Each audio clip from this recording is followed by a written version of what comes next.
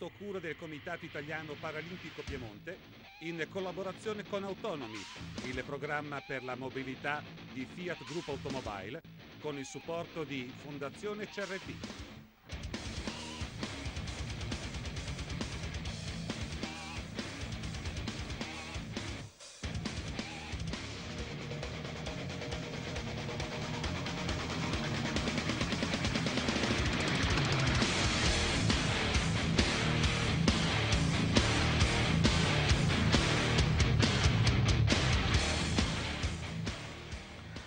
Benvenuti e benvenuti alla terza puntata di Disport, il nostro programma dedicato a sport e disabilità. Il tema di questa puntata è l'avviamento allo sport attraverso enti e strutture come l'unità spinale e INAIL. Ed ho con me vicino, come sempre, la nostra presentatrice diva, Silvia Bruno. Diva, no, presentatrice neanche. Buonasera a tutti, grazie. Silvia, ma sai che ci guardano in tanti, ci sono le famiglie, i ragazzi, è tutto merito tuo. No, no, spero di no. Sono contenta che ci guardi in tanti, ma sicuramente non è merito mio, ma è merito degli ospiti che abbiamo, delle, insomma, dei temi di cui E anche parliamo. questa volta abbiamo grandi ospiti. Abbiamo quattro ospiti. Eh, non abbiamo Tiziana Nasi perché è impegnata in Russia. In Noi la salutiamo con un bacio, un abbraccio. salutiamo. Però abbiamo ospiti importanti, iniziamo subito a presentarli. Andrea Pontillo, eh, che è un tecnico di scherma in carrozzina ed è presidente della società Lame Rotanti, che è la prima società in Italia interamente eh, dedicata diciamo, alla, alla, scherma in carrozzina. Poi abbiamo una grandissima atleta, Patrizia Saccà, atleta di tennis tavolo e anche consigliera eh, del comitato provinciale CIP. Alla sua destra Davide Damosso, assistente sociale INAIL, che ci aiuterà a capire come lo sport disabile è nato in Italia e come l'INAIL continua ad aiutare questo movimento. E infine la dottoressa Maria Vittoria Actis, che è la direttrice dell'unità spinale unipolare di Torino. E volevo proprio iniziare da, dagli ultimi due ospiti che abbiamo presentato. Eh, abbiamo detto l'avviamento allo sport attraverso unità spinali e INAIL. Eh, forse l'INAIL insomma, sicuramente è più noto come nome, come sigla, forse un po' meno le unità spinali, quindi io volevo subito partire dalla dottoressa Actis chiedendole di spiegarci bene che cos'è un'unità spinale e magari anche partendo dalla storia di quando è nata Torino, quando si chiamava ancora CRF, sì. eccetera. Per circa 30 anni la cura delle persone con lesione midollare a Torino è avvenuta presso il CRF, Centro di Rieducazione Funzionale, che era sito al Colle della Maddalena. Eh, ovviamente in questa struttura veniva eh, svolta la fase riabilitativa, quindi le persone arrivavano dopo un certo periodo dall'evento traumatico e, ehm, nel 2007, invece nel luglio 2007, l'unità spinale si è trasferita giù al CTO nella sede proprio antistante eh, il centro traumatologico e quindi è stata realizzata l'unità spinale unipolare. Che cosa si intende con questo termine? Si intende la presa in carico della persona con lesione midollare dal momento della lesione, del trauma o dell'evento comunque scatenante, eh, quindi la presenza di tutti gli specialisti che devono comunque eh, essere coinvolti nel percorso di cura dagli anestesisti al chirurgo vertebrale, il neurochirurgo, il neuroradiologo, eh, il fisiatra, l'urologo, tutti, ecco, con il passaggio dal CRF al CTO si è realizzata questa unipolarità. Ovviamente questo significa la possibilità di eh, avere contatto sin dalla fase dell'emergenza con la persona e seguirla poi in tutta la fase successiva fino alla dimissione e al reinserimento a domicilio. Benissimo, quindi una parte molto importante per le persone, fondamentale per le persone che appunto dopo un incidente devono ricostruire sì. la loro vita, quindi a partire dal processo riabilitativo, eccetera.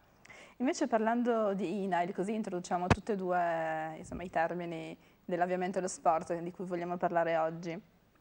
L'INAIL è stato, possiamo dire, eh, l'ente che ha portato in Italia lo sport disabili eh, primi, eh, tra gli anni 50 e gli anni 60, grazie ad un, un personaggio molto importante, il dottor Antonio Maglio, sì. che era direttore del Centro Paraplegici INAIL di Ostia, che ha, mm, prendendo uh, un po' lo spunto dal lavoro che stava facendo un altro medico in Inghilterra, Cosa ha fatto? Spiegalo un po' tu. Intanto dovremmo vedere le immagini di eh, un DVD con immagini di repertorio delle Paralimpiadi di quelle che poi sono chiamate, state chiamate le prime Paralimpiadi di Roma del 1960. Sì. Grazie per la parola Silvia. Uh, sì, l'INAL è stato antesignano e ha portato lo spirito sportivo anche in favore delle persone con disabilità.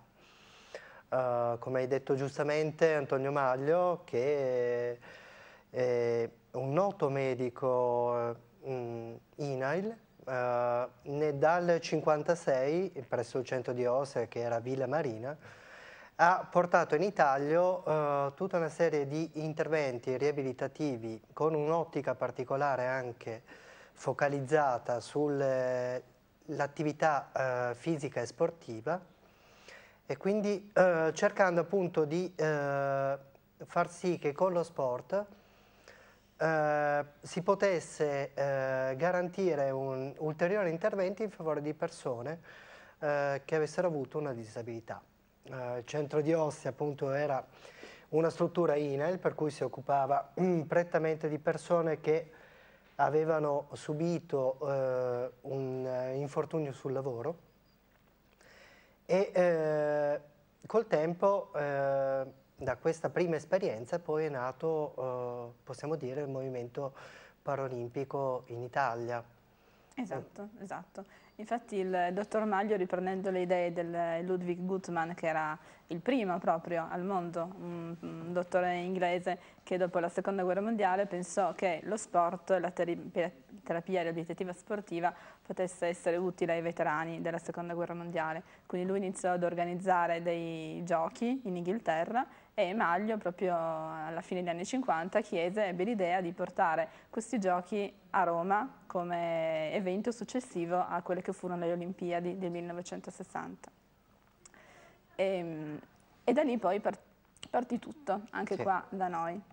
Adesso è ora di vedere il primo filmato di oggi ed è l'intervista ad un personaggio che molti di voi, sì, esatto, che chi segue, chi ha seguito negli ultimi anni lo sport disabili conosce bene, perché si tratta di Paola Magliola, che è una, un personaggio davvero straordinario, che negli ultimi 15 anni almeno... La regina. Ha, sì, sì, la, la regina dello sport disabili piemontese, no, le farà molto piacere. Eh, Paolo Magliola è delegato provinciale del Comitato Paralimpico di Biella, ma è anche referente INAIL per eh, tre province del Piemonte, Torino, Biella e Vercelli. E quindi insomma senza dubbio una panoramica completa sui temi di cui stiamo parlando, ma sullo sport disabili in genere. Vediamo l'intervista insieme e poi magari ne riparliamo. Sono stata nominata commissario nel 96, febbraio 96, perché il comitato era caduto. Sono stata nominata commissario, eh, quindi io da Biella, dove ero delegata provinciale, mi sono trasferita in Torino per lavorare per la mia federazione. E a Torino mi sono accorta che pochissimi conoscevano il nostro sport. E mi ero avvicinata allo sport per disabili perché ero eh, inserita in un gruppo di persone che cercava di gestire in Biella le problematiche del, dei disabili, a livello di volontariato naturalmente. In questo gruppo è venuta fuori l'idea del, dello sport, ma vaga, dopodiché siamo partiti e abbiamo voluto Fondare costituire una... la polisportiva Handicap Biellese. Lo sport c'era, c'erano gli atleti, non era conosciuto. Questo punto ho deciso che lo sport per disabili doveva diventare una cultura, a livello conoscerlo a livello culturale. Una grande cosa è stata, eh, sono state sempre le Paralimpiadi. Dopo le Paralimpiadi di Barcellona e di Albertville ehm, qualcosa si, si conosceva un pochino di più, ma sempre poco e siamo già nel 92. L'esploit è arrivato con Torino 2006, insisto. Siamo arrivati a Tiziana Nasi. Come è andato questo, Appunto, questo eh, abboccamento tra Allora, eh, la Polisportiva Indica Biellese aveva ricevuto l'in- l'incarico di organizzare il quarto campionato italiano di sci per disabili. Lei ha dato la sua disponibilità, ha- ha- ci ha offerto il Sestriere praticamente per fare la nostra manifestazione, perché noi non sapevamo più dove andare ed era la prima volta che il campionato di sci arrivava in Piemonte e Tiziana è stata il nostro mezzo. E poi invece è stato il grande, eh, il grande, il grande, come posso dire, il grande destriero, ecco, perché ha trascinato effettivamente lo sport per disabili alla notorietà. Eh, Quali sono le prossime sfide? allora, eh, lo sport per disabili, eh, ormai con il nuovo presidente Pancalli che è veramente in gamba, lo sport per disabili è entrato a far parte di, di tutta la gamma dello sport, a tutto titolo. Dal 2003 il CIP, così si chiama attualmente dopo aver cambiato nome per parecchie volte, il CIP è l'unico titolato a gestire lo sport per disabili. Adesso a ogni federazione dovrebbero avere il settore disabili, ogni federazione. Questo movimento di inserire in ogni federazione il settore disabili sta avvenendo in tutto il mondo. Cioè noi non siamo né troppo avanti né troppo indietro, stiamo un pochino avanti secondo me perché Pancalli ha la vista lunga. Il prossimo appuntamento è andare sulle televisioni e ci stiamo già andando abbondantemente eh, perché, perché lo sport deve essere visto e, viene- e si- e ci si appassiona.